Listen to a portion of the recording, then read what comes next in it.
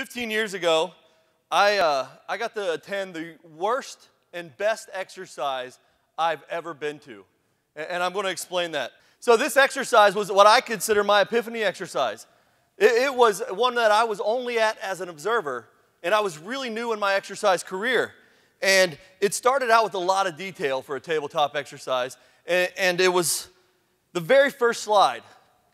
It was a bright and sunny day, homecoming at a packed crowded stadium, football, when three crop dusters appear over the horizon. And I don't know why the exercise designers put so much detail in it, but the homecoming queen was being crowned at the 50 yard line. Not important, but they had a lot of those information. When those three crop dusters got over the stadium, they started spraying the stadium with an oily, acidic liquid. And the homecoming queen was last seen under a crush heading for an exit.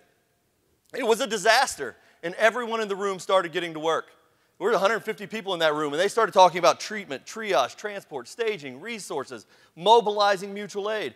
It was at that point I was like, this is a great exercise. This was not long after September 11th, and people were trying to figure out the problems. They were untying the knots. When 15 minutes into this really good discussion, the exercise facilitator steps up to the front of the room and says, Oh, by the way, we just got an update.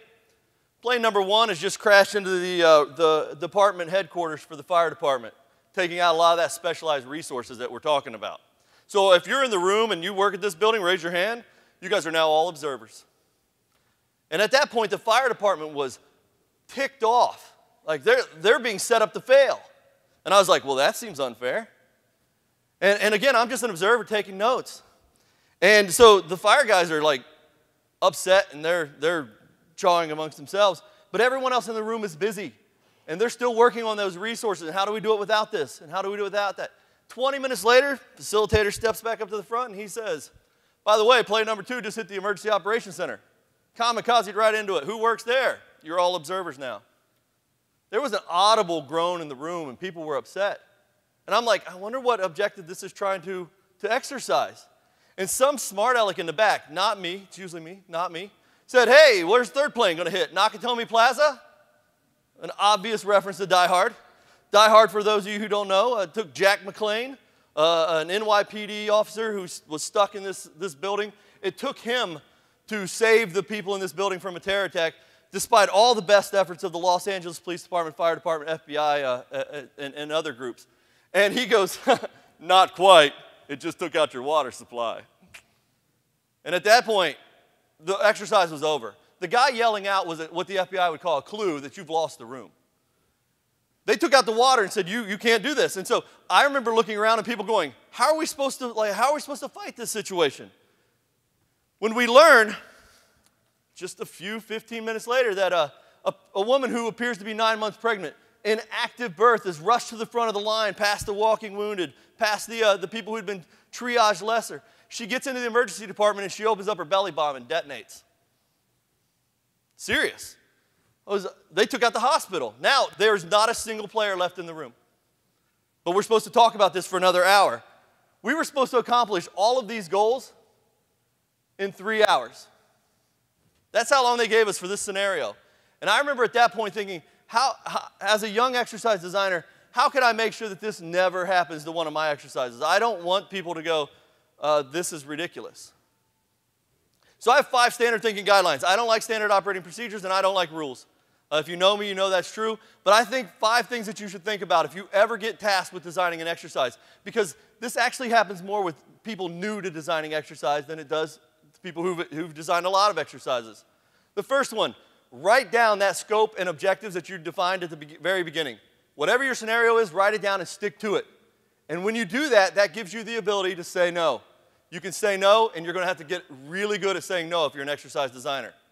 If somebody comes up to you and says, hey, I know it has to be a biological exercise, and the, the scenario was T2 mycotoxin, a, a fungus synthesized acid, because that's what the funding said it had to be, a biological. Can we use crop dusters to spray that over a crowd? Sure, I could go with that exercise. That would actually be a pretty good exercise. Let's, let's go with it. Can we use those same planes, the kamikaze, the important buildings around the community? No, no, no. What about a suicide bomber taking out the hospital? Again, someone should have said no. And, and, we didn't actually test what the funders wanted us to test. We had to do the exercise over. So when you're designing an exercise, and, and we're all experiencing this, especially with the new CMS rules, everyone wants to hop on your train. Don't let people hang on your train. You, you have a lot more limitations of what you know, and you, you see this a lot when people design exercises, and at the very end, they start cramming to get things done, or they have to really, really uh, uh, cut it down. Know your limitations. Others will want a free ride. Say no, say no often, but you shouldn't have a one and done exercise. You should have an exercise plan. So say no, but not right now. If somebody says, hey, we want to do a water impact for, for an event, taking out the water tower for whatever reason, there's lots of hazards that can take out a water tower. Say, yeah, we'll do that later. If it's a really big scenario, know that you can break that up into a lot of different exercises and target them to different groups. And then if you do, I, I, know there's some funding agencies in the room, if you do have to do something ridiculous to take out a water tower, a hospital, and some other things, then by all means, this is the time where you can have fun. Like choose a, choose a movie that you've watched, Sharknado, a zombie attack, an alien attack, and I could take out with a Sharknado, sharks spewing acid over my community. Uh, I've done zombie exercises. I've done the Mayan calendar exercise.